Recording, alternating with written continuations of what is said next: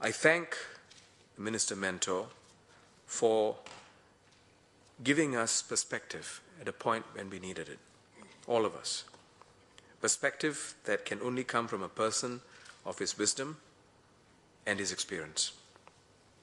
He said that the pledge is not an ideology, but an aspiration, a timely reminder.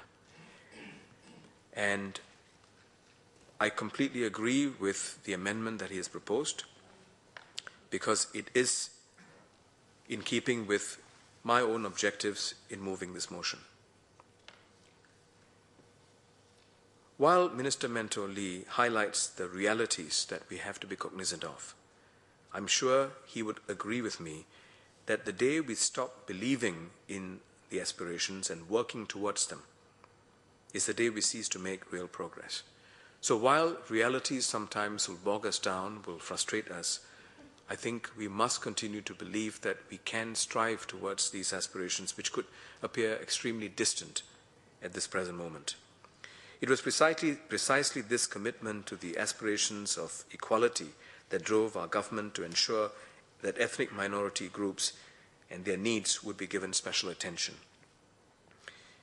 It may sound paradoxical, but moves like affirmative action are indeed motivated to attain the aspiration of equality, an aspiration that's captured in our pledge.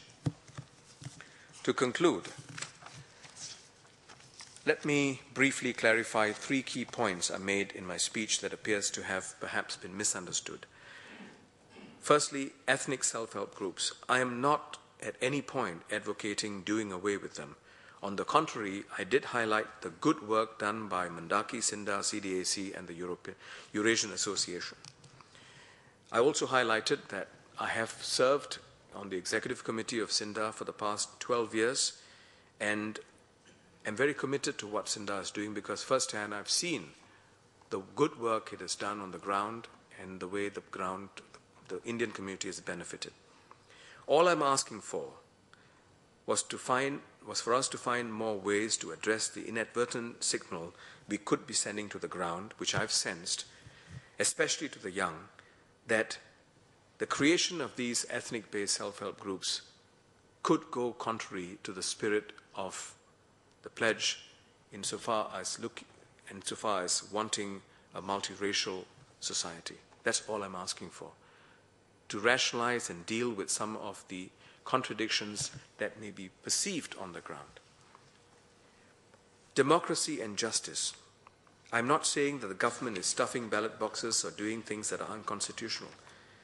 I was highlighting a lingering perception that I sensed on the ground that politically it's not a level playing field, and if we don't address this, there'll be growing cynicism, especially amongst our youth, who will choose to express their displeasure through angry postings in the net, which is not useful. Thirdly, economic progress and happiness. I did not say economic prosperity is not important and that it should be put on the back burners. Not at all. It would be naive to, to, to promote an argument of that nature.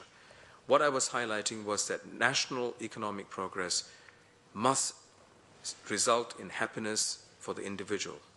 And this may not always be the case. My intention in moving this motion was not to take shots at the government or its policies. It must be evident in my speech that I have a healthy regard for our government and appreciation for what we have achieved, and that we should not take that for granted. My motivation is simple. As a citizen of this country, I'm deeply concerned about the level of rootedness and the latent threats to harmony.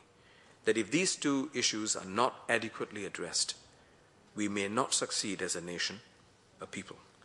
For this, we need an emotional anchor or a collective reflex for which I am confident our national pledge would serve as a reference point.